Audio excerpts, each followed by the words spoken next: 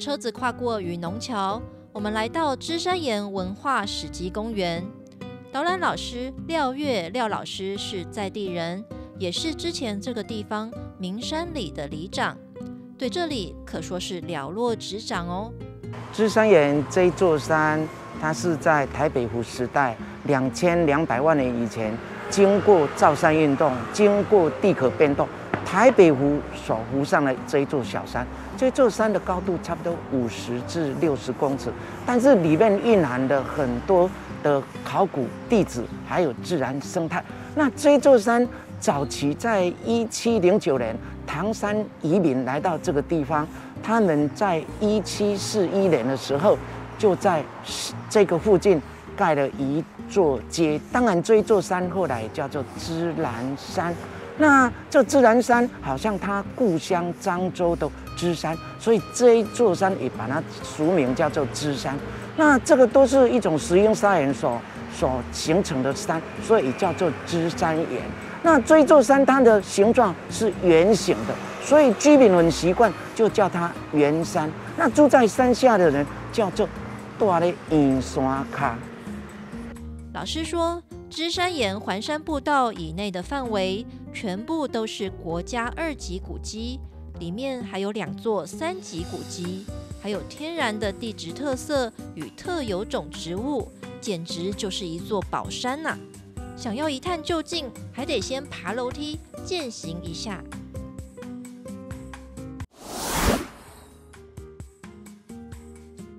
我们的第一站是洞天福地。这四个镌刻在石壁上的大字是怎么来的呢？啊，这个洞天福地，它的墨宝是八自然的一个读书人叫潘永清他所提的。那为什么讲洞天福地呢？他认为在一八五二年到一八五九年漳泉械斗的时候，漳州人都全部逃难到芝山岩山上避难。他认为这是一个别有洞天的福地。那洞天福地也有另外一个说法，就是我们这里一个蝙蝠洞，所以蝙蝠洞上一片天，所造之处皆福地。清朝的时候，哎，惠济公有哎做一些平安祭的活动，啊，把洞天福地把它哎那个写一个百匾额，把它那边祭天哈，然后当然祭祀。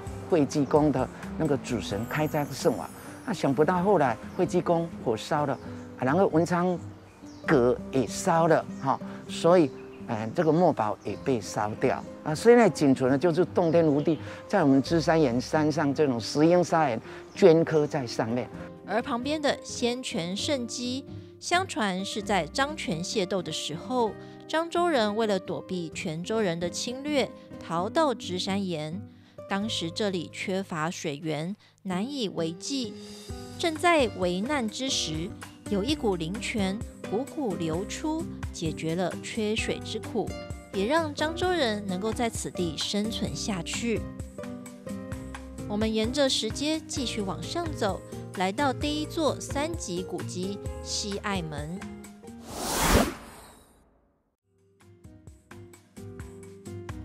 在一八二零年左右，漳州人跟泉州人为了争水、争地、争利益，所以产生一些不名誉的械斗。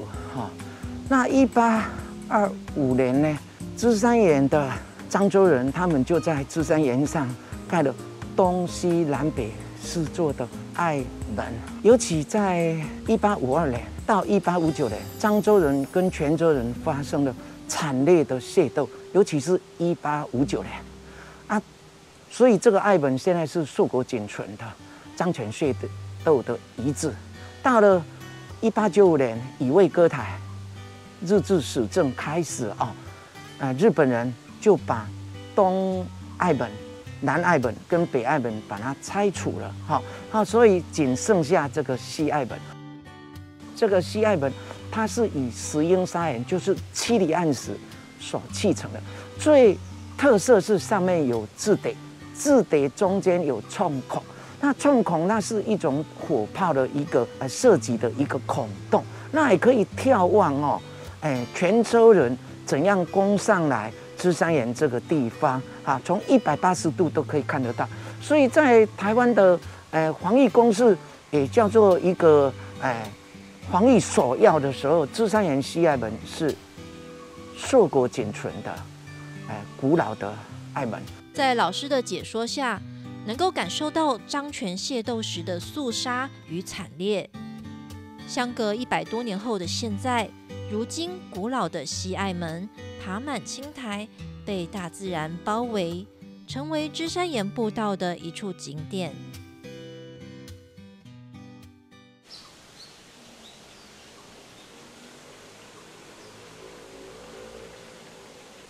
这棵树是大叶兰树，哈，那是在芝山岩的边坡啊。不过它一直诶壮大，诶壮大，它的根也撑起了啊很大，然后把我们芝山岩的国家三级古迹的西隘门，它的基座也稍微把它破坏。那台北市文化局就请一些专业者哈，啊，为了保护芝山岩西隘门，就用缆线把它撑起来，让它不再破坏我们的隘门。啊，让我们的大叶榄树也不会 倒下来。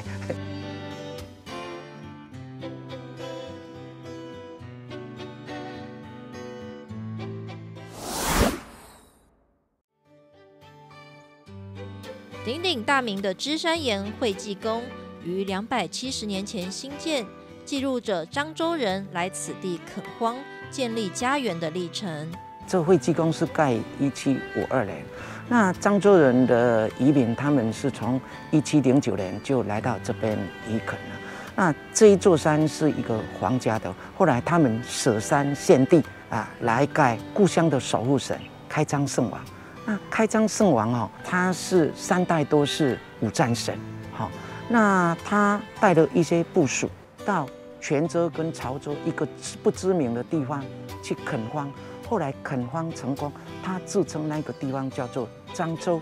后来他被一位流寇叫蓝凤高所杀，那唐朝皇帝就赐封他为开漳圣王。好，这个惠济宫其实是三座庙结合在一起。第一座庙是惠济宫，它侍奉的主神刚才讲的就是开漳圣王。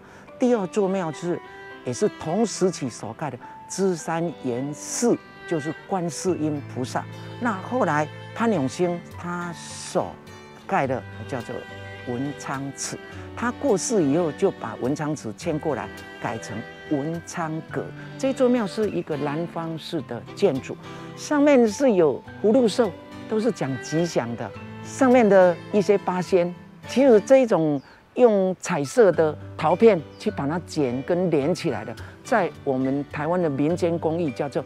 剪联艺术了哈，这么漂亮的背脊一般叫做西施脊，所以我们的西施脊，哎，有五六个风洞，意思就是说台湾有东北季风跟台风，为了避免这么漂亮的西施脊被台风或是东北季风吹倒了，然后所以做这一种风洞，让我们的西施脊能够保留。那我们知道这个是国家的，也现在算是市定古迹，那这种庙宇一定要。修旧如旧，那里有一个石灰草，好，然后一些那个都用古法去把它做起来的。这个这个刚盖好的石灰草，那是让它发酵，然后要要修庙用的。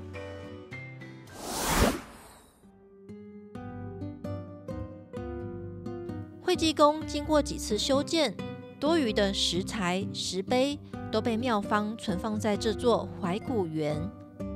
而其中最重要的两座石碑，一座是镌刻于一八四九年的《芝山合约碑记》，记录了皇室家族于一八零五年舍山献地的事迹。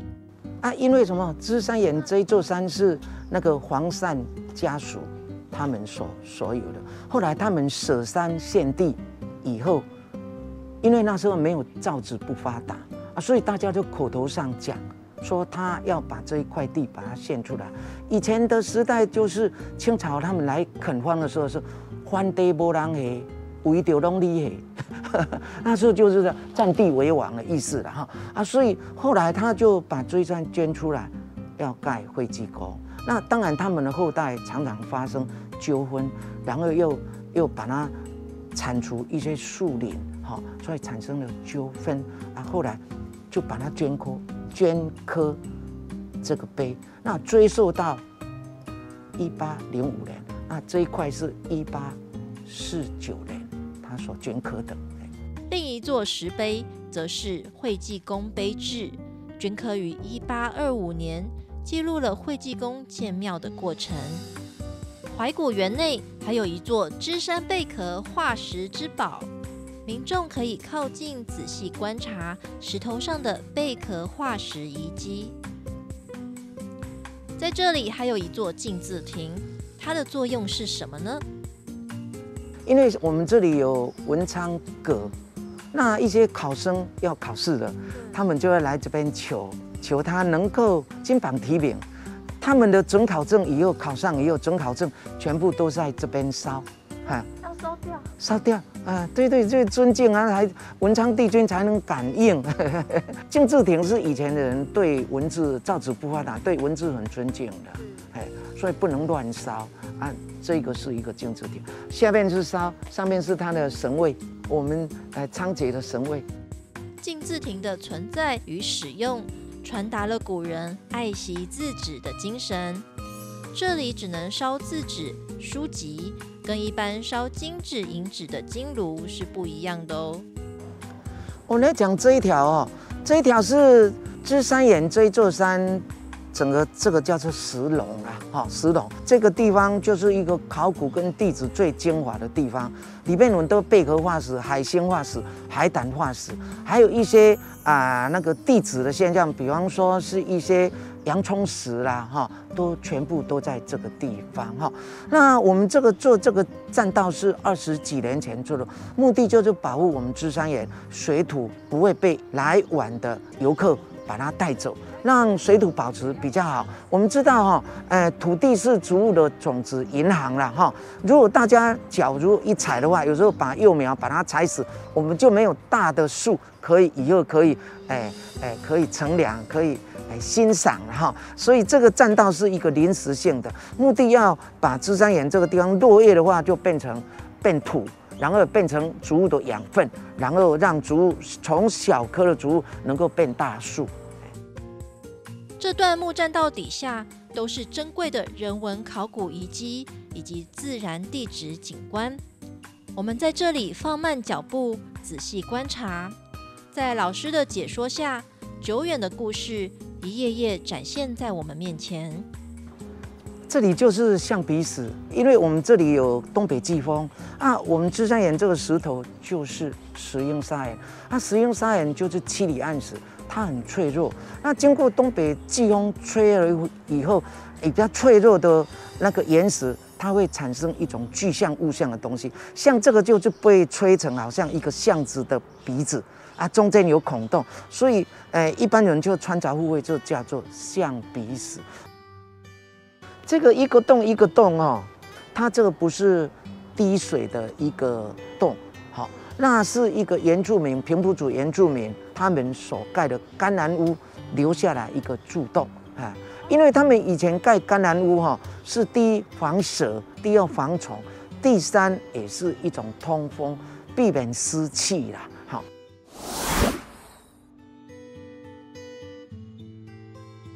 这六四先生之墓哈，它以前是上面叠了一块石头，那目的就是隐姓埋名。我们知道这里芝山岩这个地方，在一八九五年这里成立一个芝山岩学堂，好，那就是后来八芝兰公学校，后来再改成士林公学校，现在就士林国小的前身了哈。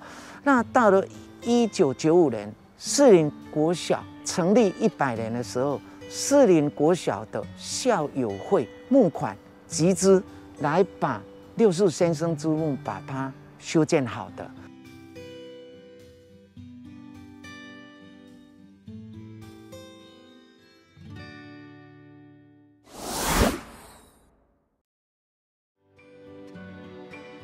这大木工也叫铜龟手。那大木工它是发生在一七八六年，台湾发生了林爽文事件。那林爽文他是天地会，所以他的标志是日跟月，所以他是反清复明，反对清朝统治台湾的。那他领导的一些反抗清朝的部队，尤其北部有林小文。那林小文是现在新庄的人，那他们部队也受到。清朝的那个自治的军队的那个整个围剿，哈，那有一些义民呐，或是难民也逃到我们芝山岩山上，都死伤很惨重。那乡里的啊耆老跟士绅就建议要盖这个同归守。这个地方在一八五二年到一八五九年，漳州人跟泉州人械斗的时候。也有十三惨重，好，那无论是漳州人跟泉州人，他们没有家属领回的一些诶遗骨，都把它集葬在这个地方。没有家属就罗汉卡，有老无处，有病无药，哪死无求，有病就无药。如果死的话，没有办法用草席把它卷卷一点，把它埋葬。以前真的是很悲苦啦，是这样啊。当然都用现在就来讲，就用人道立场。把他们哎集葬，然后祭祀，慰问这些孤灵。所以每年哈，这已经两百多年，每年的农历的七月一号，就在就会往上面远远那个地方那个木龛把它开起来，哈，这这种活动是这样哈。那所以呃，士林这个地方哦，哎，就分了四个角头，那不是黑道的角头，就是四个那个庄的那个聚成的，叫做角头啊，就角头。所以那时候就就大家普渡，所以有流传一句话叫做“树林街啊铺电火，三枝兰铺鸡会，石牌啊铺红菇粿，北山顶铺地公尾”，是这样子的流传。因为四林那时候商业很发达啊，大家灯火通明，普渡。那三枝兰呢，大家都是地主，所以他们很有钱。所以坡给会，那九白啊坡昂古贵，因为那里都是农田，所以可以做昂古贵。那北山顶呢，他们没有办法种稻，他们只有种甘薯啦，所以他们只有坡地公位。那这个地方刚才讲过，无论是漳州人跟泉州人械斗的时候，一些先民都把它集葬在这个地方，所以也有一句话叫做“当挖郎做”。江州人破，当湾就是同安啦，啊，同安就是泉州人啦，啊，所以叫做当湾人做，江州人破，就将漳州人也跟他普渡，是这样，也是一种人道立场啦，啊，大家言和的意思啦。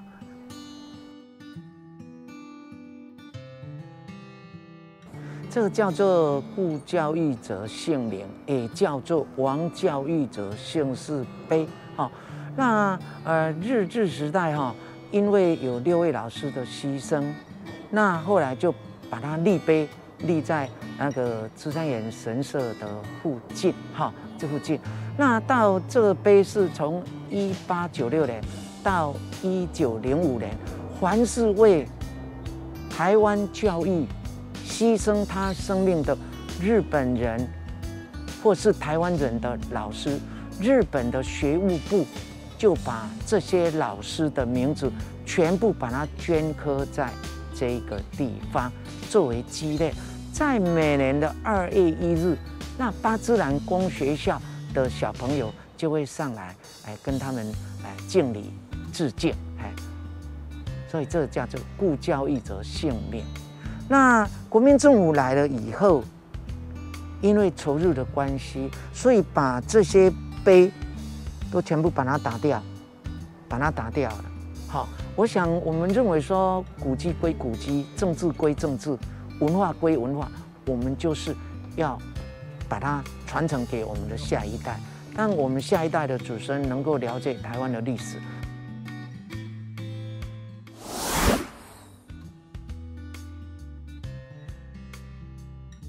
我们在讲这个学务官僚炸弹之碑，我们一定知道以为。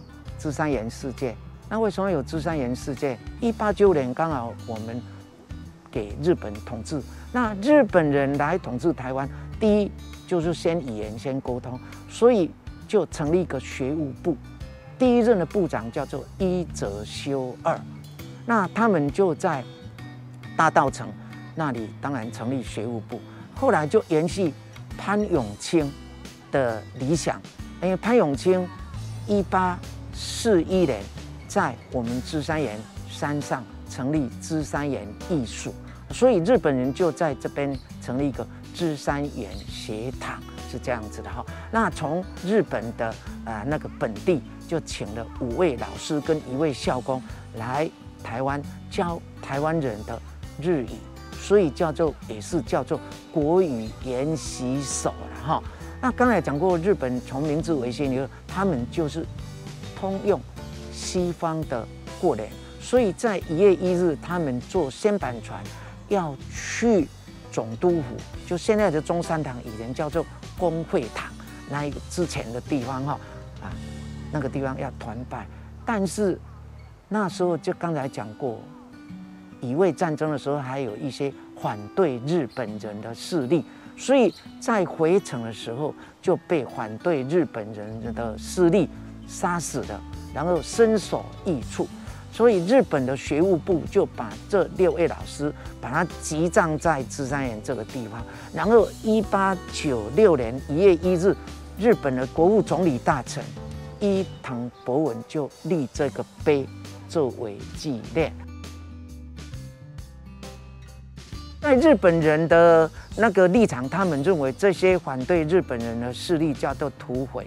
那在国民政府来讲，他们叫做义士啊。这是以前一位啊叫做杨确曙是岛国大代表，他拟的书啦写起来的，哈，叫做《芝山岩事件碑》。一九二九年，日本人在芝山岩山上盖了芝山岩祠，后来改为芝山岩神社。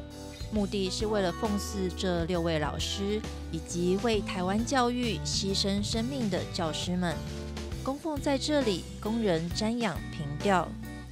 建造神社时，也同时新建了鸟居与参道。国民政府来台后，移除参道两旁的石灯笼，改种榕树。原本的参拜亭改成唐式风格的凉亭。并将神社拆除，盖了如今的雨农阅览室。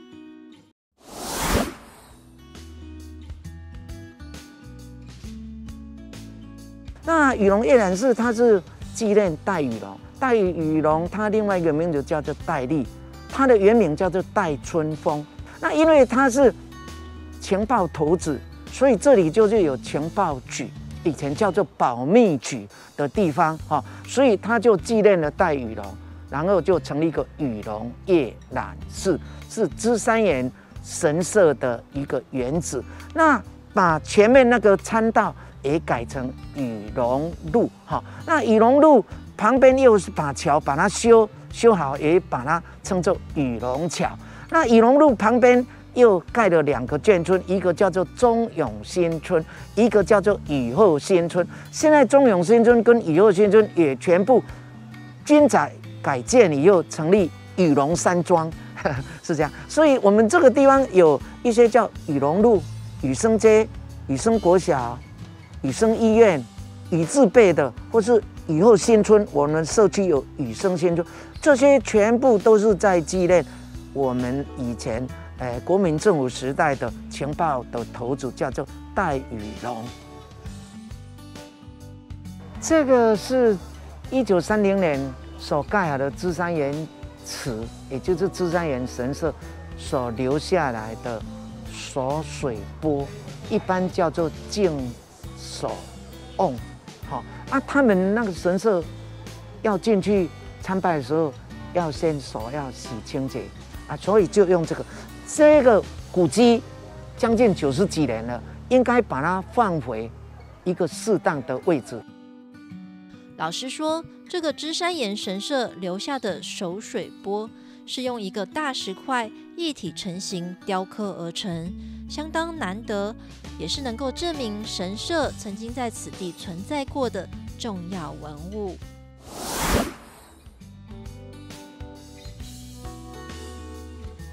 自然的一个地质景观现象。因为刚才讲过，经过造山运动，经经过地壳变动，然后经过一些原始的风化作用以后，形成了一个太阳石，一个奇特的地质景观呐，是这样。那一般哦，早期哦，听说这里很多叫做这里叫做蝙蝠洞。那当然，这个太阳石就是它的屋顶啦。哈，那蝙蝠洞这里哈，哎，听说以前很多蝙蝠，啊，蝙蝠，那蝠跟那我们幸福的福是是是一样。所以刚才讲过，就讲说，蝙蝠洞上一片天，所造之处皆福地啊，所以叫做洞天福地，也是从这里延伸过来的。好。那现在人类的脚中已经取代了蝙蝠的的那个啊脚那个那个飞的脚中，那取代了，那现在变成流浪流浪汉的乐园了，是这样子。好，那当然现在流浪流浪汉走了以后，这里也变成一个空旷的一个地方啊。只有给大家去了解芝山岩的奇特的地质景观，就是在这个最精华的地方，就是。太阳石，原来蝙蝠洞就藏在太阳石的后面。洞天福地的福是蝙蝠的福，也是福气的福，代表了先民的期望，希望能够逃离战乱，在此地安稳生活。芝山岩记录着这块土地漫长的历史，是这样一个地方，能够提醒我们。历史或许会被遗忘，但不代表不曾发生过。